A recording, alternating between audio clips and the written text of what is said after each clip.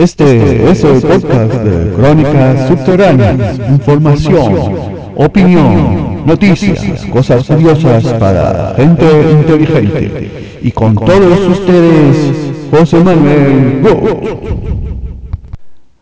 Hola, bienvenido a todos los que escucháis el podcast de Crónicas Subterráneas. Soy José Manuel Gotch y hoy es día 9 de enero del 2015 según el calendario oficial occidental.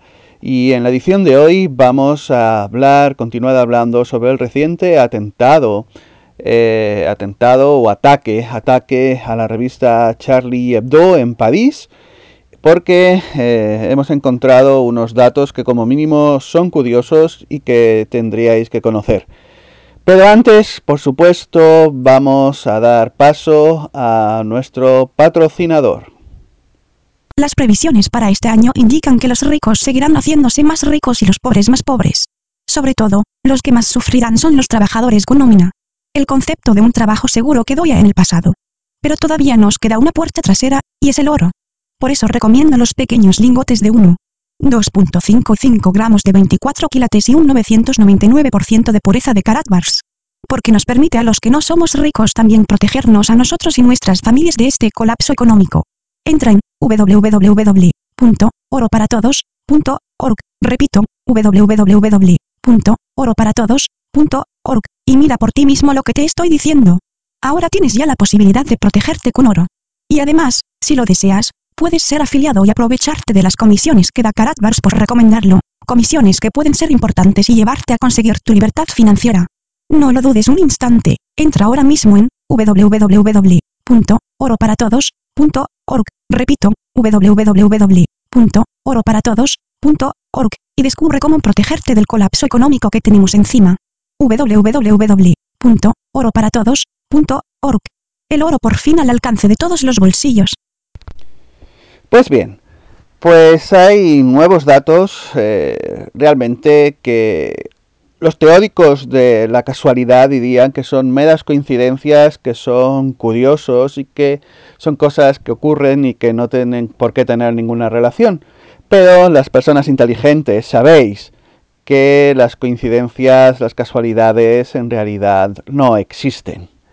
Así que eh, tras este ataque a la revista Charlie Hebdo en París, pues eh, han ocurrido, están ocurriendo cosas extrañas. Eh, recibí una recopilación de estas cosas extrañas de forma privada, por lo tanto la fuente pues eh, voy a dejarla anónima.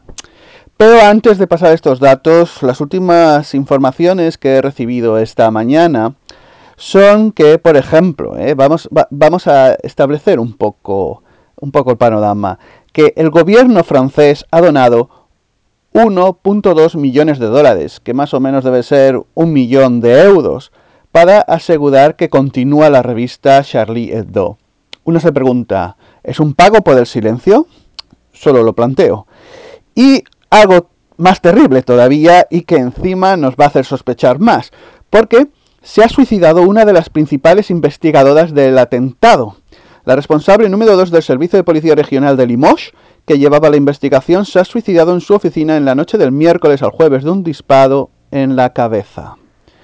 Aquí ya, esto ya nos lleva a, a sube de nivel, ¿no? El tipo de acontecimientos que están ocurriendo. Y es que ocurren cosas tan extrañas como que vemos que el ataque está hecho por personas profesionales y luego estas personas profesionales se dejan un documento de identidad al abandonar el coche. ¿De verdad? Igual que esos supuestos pasaportes limpios que vimos eh, al estrellarse el avión MH17, o si nos vamos un poco más lejos, esos pasaportes limpios que daban eh, la culpabilidad de los atentados del 9-11. Eh, uno llega y, piensa, ¿qué nivel de estupidez piensan los gobiernos que somos la población? Y la respuesta es que sencillamente piensan que nuestro nivel de estupidez es muy alto, puesto que ellos nos educan en sus colegios, su sistema de educativo para que seamos con este nivel de estupidez que ellos piensan que somos.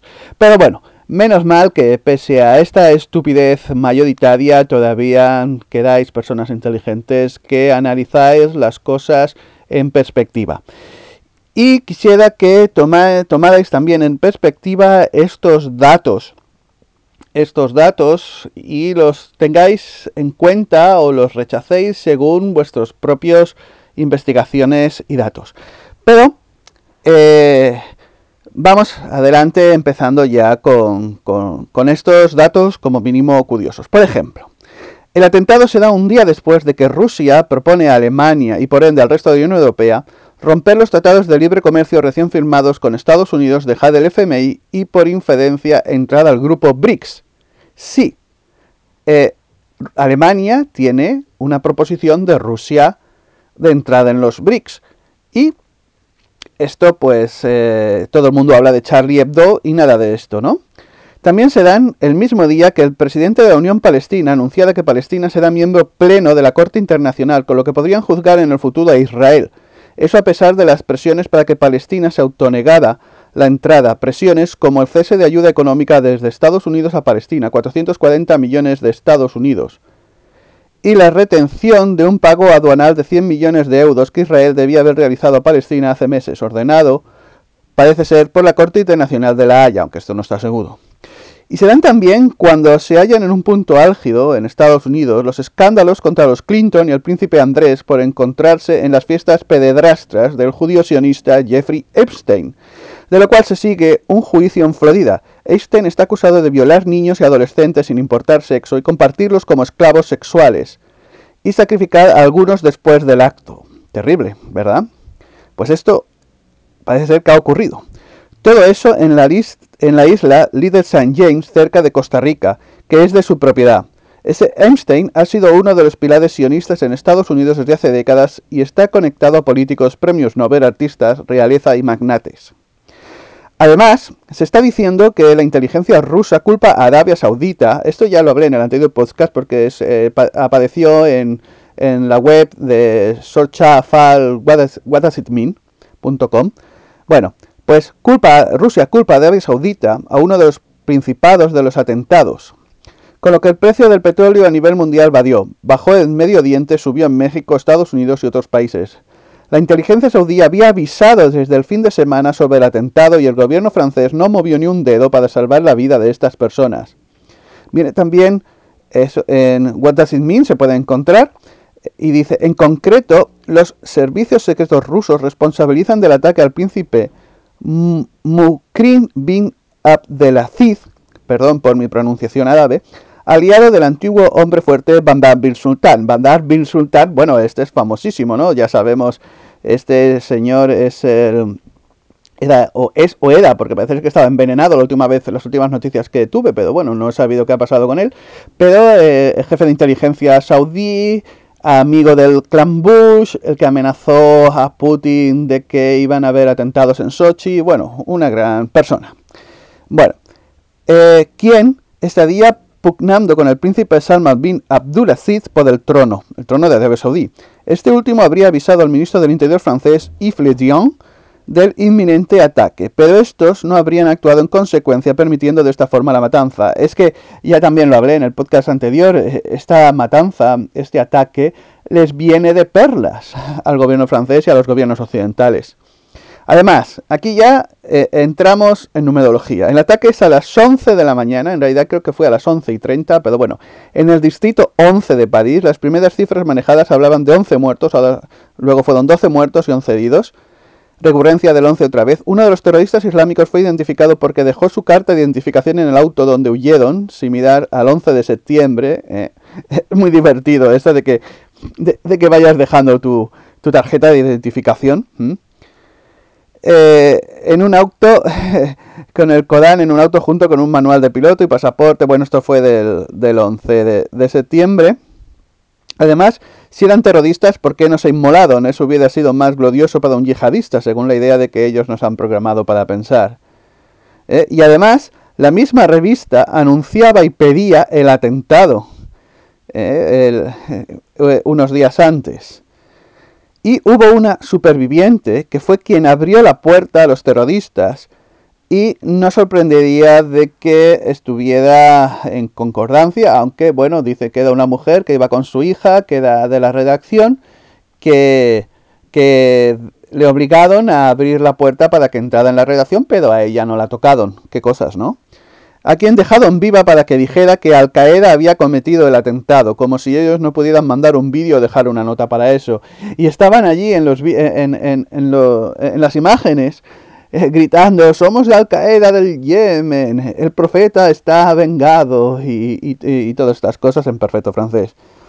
Y por último, una hora antes de la masacre, la propia revista tuiteaba una burla más contra el Islam, como si fuera una contraseña, la clave para que atacaran.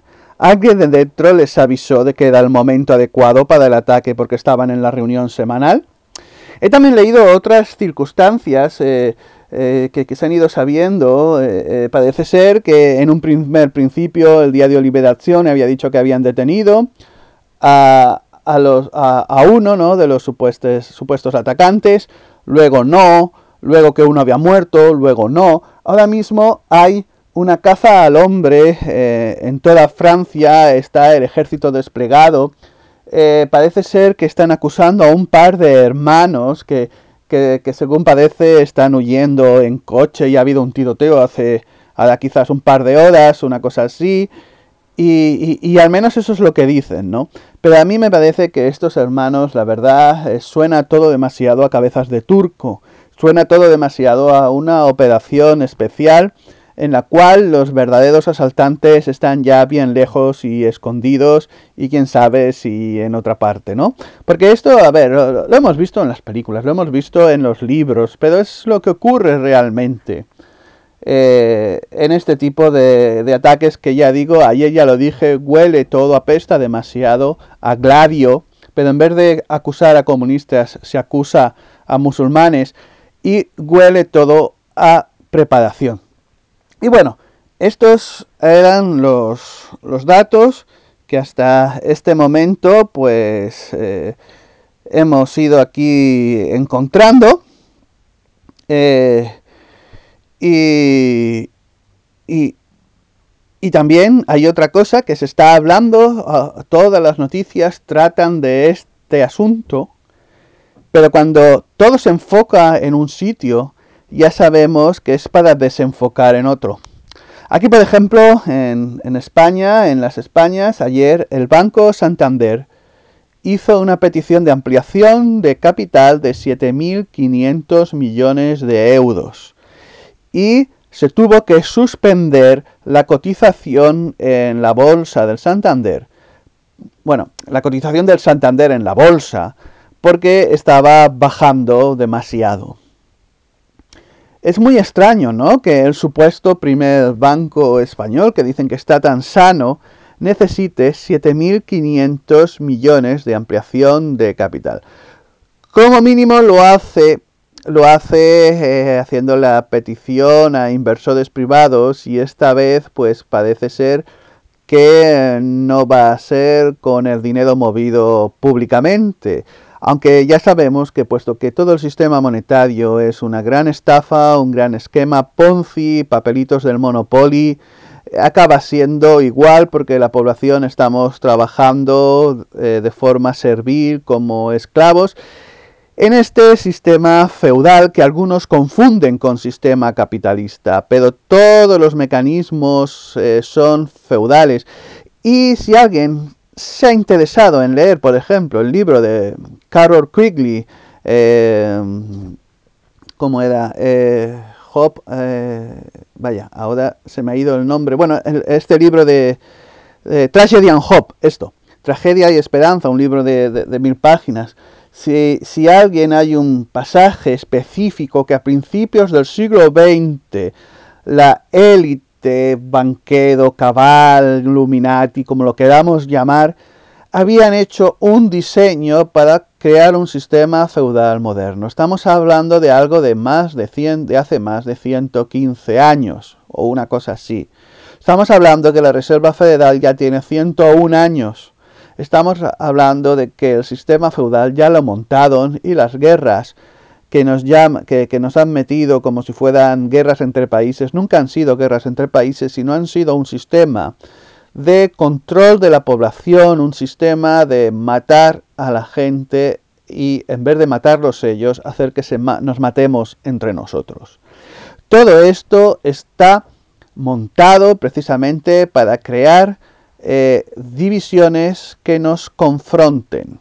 Cuando en fin al cabo los seres humanos, bueno, pues lo que queremos es tener una vida tranquila, pero esta gente utiliza los medios de comunicación, utiliza el sistema bancario, utiliza las empresas para tenernos siempre al límite. Es un ataque, es una guerra mental. La guerra está realmente en nuestras mentes.